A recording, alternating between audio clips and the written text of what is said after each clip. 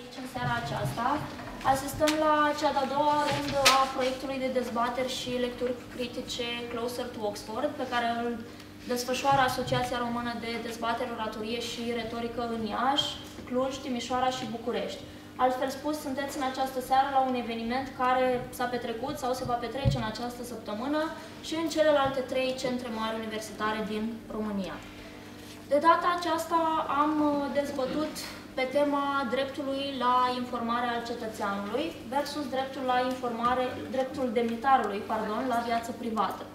Cei care au fost prima rundă știu că aveam niște aparate de vot electronic cu care puteam să ne manifestăm opțiunea pentru una dintre cele două părți ale temei, ale moțiunii. Din păcate, în această seară ele nu funcționează, așa că vă vom ruga, de fapt, domnul profesor Antonesei vă, vă va ruga la un moment dat să ridicați mâna și sperăm să, să vă placă dezbaterea, să fiți de acord cu una dintre părți, nu știu, cred că putem să trecem la vot. Da? Da. Deci noi vom vota de două ori. Odată acum, înainte de a auzi argumentele celor două echipe, deci votul nostru de acasă, și după, după dezbatere, dezbaterea lor va fi urmată de altfel și de dezbaterea noastră cu, cu toată sala, vom mai vota o dată, ca să ne dăm seama dacă argumentele unele au fost mai convingătoare decât altele, dacă s-a schimbat. De pildă data trecută când am fost, s-a pornit de la uh, un scor foarte dezechilibrat. Deci una din teze era extrem de bine reprezentată, cealaltă mai puțin. După dezbatere s-au echilibrat, ceea ce înseamnă că au apărut informații noi totuși pentru uh, noi toți care eram în sală.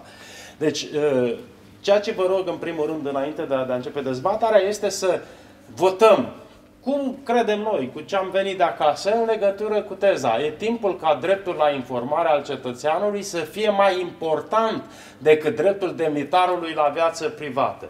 Deci cine e de acord cu această uh, teză, cu această afirmație, aș vrea să ridice mâna acum.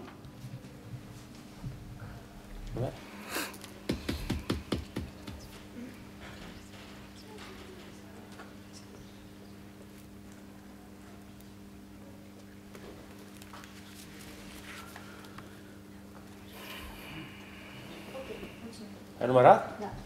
Acum am văzut că n-a ridicat toată lumea mâna, deci e limpede că unii nu sunt de acord cu teza. Acum, deci aș... Uh, să așteptăm să noteze ca să poată număra.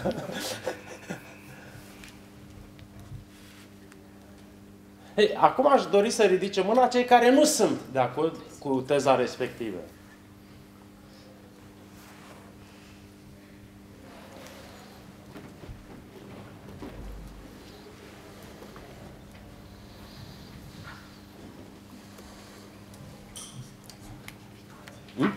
E ok, da? Uh, acum aici am echipele. Echipele care sunt mixte. Avem pe de o parte profe eh, profesor, pe domnul Vârte și pe domnul Daniel Șandru. Avem pe de altă parte elevi și studenți. Da, uh, la Bacău am avut numai, numai elevi, data trecută am avut numai studenți. Acum am și elevi și studenți.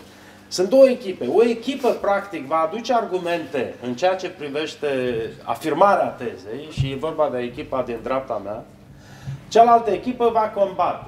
Uh, dezbaterea se, se va desfășura în trei mai multe etape. Deci, întâi va, vor lua prima, va lua echipa afirmătoare prima dată cuvântul, șapte minute, echipa cealaltă având dreptul după intervenția lor la trei minute în care să aducă obiecții, să, să, să combată puțin, să, să le dea de lucru.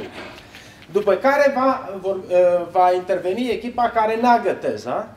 Sigur că echipa care afirmă va avea și dreptul la trei minute în care să încerce să încurce argumentația lor. După care, în, uh, după ce se termină acest, aceste două faze, fiecare echipă va avea ultimul cuvânt, în care va încerca să respingă uh, observațiile, să aducă ultimele argumente în sprijinul tezei. După care ne vom face și noi uh, părerea, ca să spun așa. Echipa e gata? Da.